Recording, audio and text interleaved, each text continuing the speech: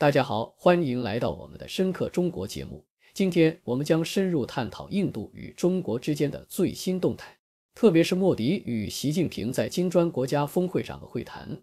这次会议象征着两国在多年冷漠关系后的外交解冻。然而，面对持续的边界冲突和历史积怨，这一切究竟能否真正改变两国的关系？习近平强调，两国应以伙伴而非竞争者为原则。莫迪则呼吁建立相互信任的关系，但专家们警告，或者使用它回到过去的正常状态并不现实。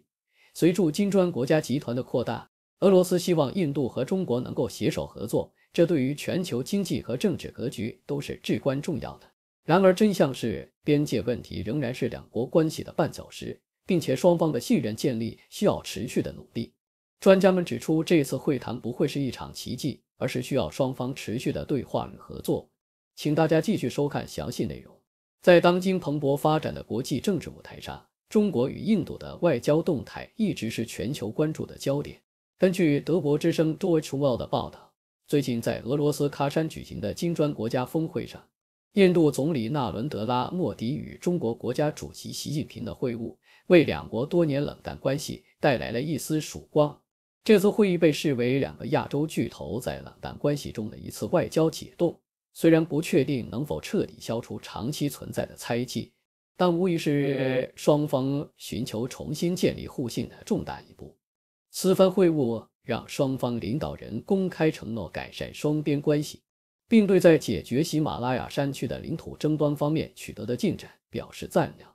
中国和印度都是有著悠久历史的文明国家。正处于激烈发展和现代化的阶段，应该遵循伙伴而非竞争者的原则。莫迪则呼吁两国建立相互信任、相互尊重和相互敏感的关系，这些都表明双方都在努力修复关系。然而，边界冲突仍然是两国之间亟待解决的难题。此次会谈恰逢两国达成了一项新的边界巡逻协议，这项协议涉及印度和中国之间高度争议的边界地区。并允许印度军队恢复对德普桑和德普桑和德姆乔克两个主要摩擦地区的巡逻。尽管具体细节尚未公开，但中国在会后的声明中称其为解决相关问题的重要进展，而非正式的协议。根据新华社的报道，莫迪提出了改善和发展双边关系的多项建议，习近平表示原则上同意。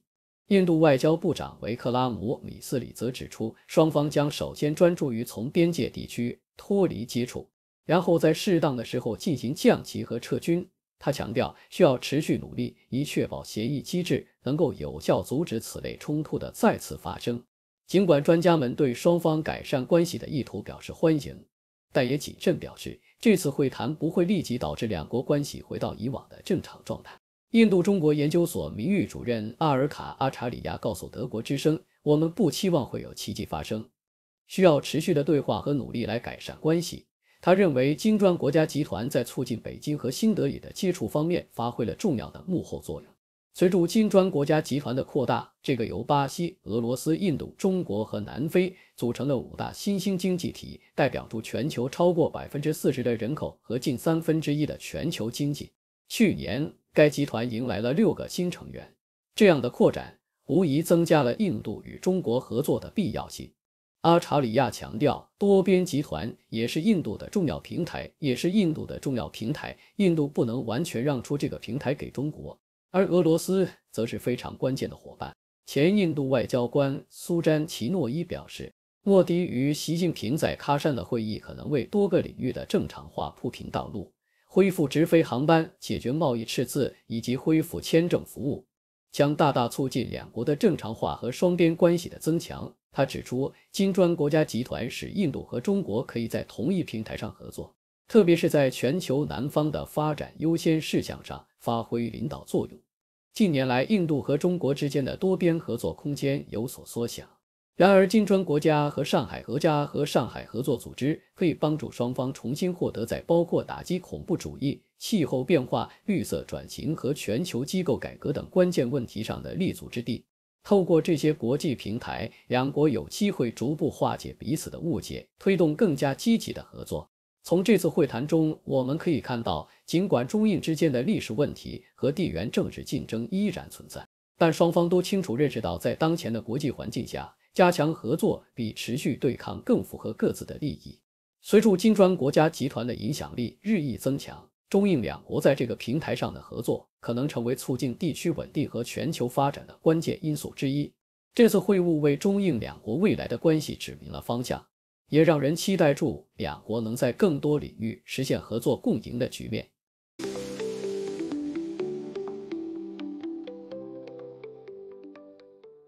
请大家继续收看节目的六度百科，对关键内容进行背景介绍。边界冲突是指国家或地区之间因边界线的划定或管理而产生的争议和冲突。这类冲突通常涉及领土主权、资源控制、民族认同和历史因素，并可能引发政治、经济和军事层面的对抗。这种冲突在全球历史上屡见不鲜，主要因为在界定边界线时，常常缺乏清晰的地理标识，或者原有的协议在历史变迁中失去效力。许多边界是由殖民列强在十九世纪和二十世纪初划定，这些边界不考虑当地的民族文化和地理因素，导致现代国家间的矛盾。例如，非洲和中东的许多边界线都是由殖民者划定，并未顾及不同族群的分布，为后来的冲突埋下伏笔。边界冲突的性质和规模各异，有些是低强度的外交争端，而有些则演变为长期的武装冲突。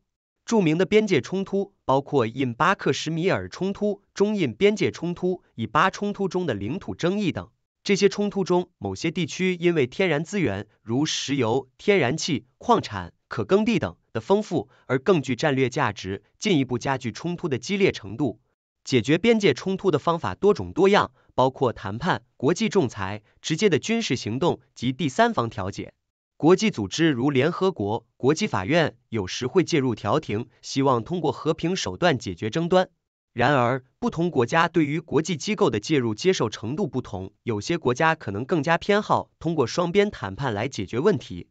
数据显示，在全球化和国际合作日益增强的背景下，许多国家正在努力通过和平方式解决边界问题。然而，对于某些具有深厚历史和情感根源的冲突，达成协议仍然非常困难。最近的研究指出，成功解决边界冲突的关键在于各方愿意进行充分的谈判及互让，并且能够建立持久的信任机制。总的来说，边界冲突不仅是地理上的问题，更是政治、经济和社会复合因素的体现。将来，随着全球资源愈发稀缺和环境问题加剧，边界冲突可能会出现新的形式和挑战，迫使国际社会寻求创新和可持续的解决方案。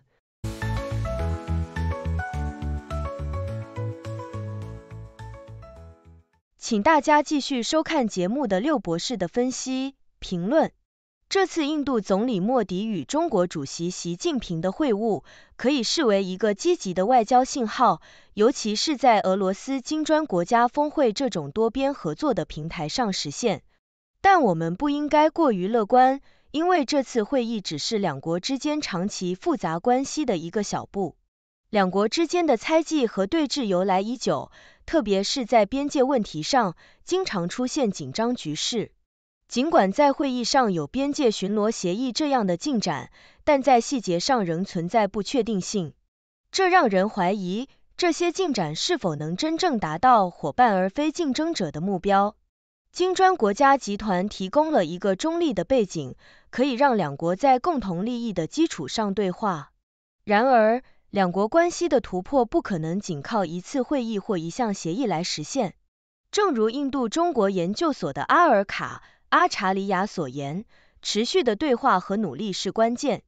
他的观点强调了多边集团的重要性，这不仅是外交平台，也是两国互相衡量和施加影响的舞台。俄罗斯在这一过程中扮演着关键角色，这反映出一个多极化世界中不同国家可能的合作与摩擦。最后，前印度外交官苏詹·奇诺伊强调，恢复两国之间的正常关系需要在多个方面努力，如航空运输、贸易不平衡、签证服务等具体问题。他指出，金砖国家提供了一个平台，允许印度和中国在全球议题上进行协作。这不仅是经济层面的，也涉及到地缘政治策略。然而，这些努力是否能在实质上改变双方的关系，仍有待观察。双方需要更多的时间和诚意来进行真正的和解，特别是在打击恐怖主义、全球机构改革等问题上寻求共同立场。这些议题的合作可能最终成为改善中印关系的催化剂。思想先驱报，成为有洞察力的人。华尔街电视特别节目，纽约时间每天早上八点，李奇博士主持。和平评点。谢谢大家收看六度探索。这是一个由科学家、经济学家、媒体人、工程技术人员合作建立的新型媒体。网友与六度在参与合作完成各种内容，这些内容不能作为任何决策或法律的意见。这是一个新型的试验性媒体方式，我们希望得到大家的支持，修正错误。网友可以参与讨论，也可以向万能的六博士提出你能想出的任何问题。六度世界网址是六九。温柔请介绍给你的亲朋好友。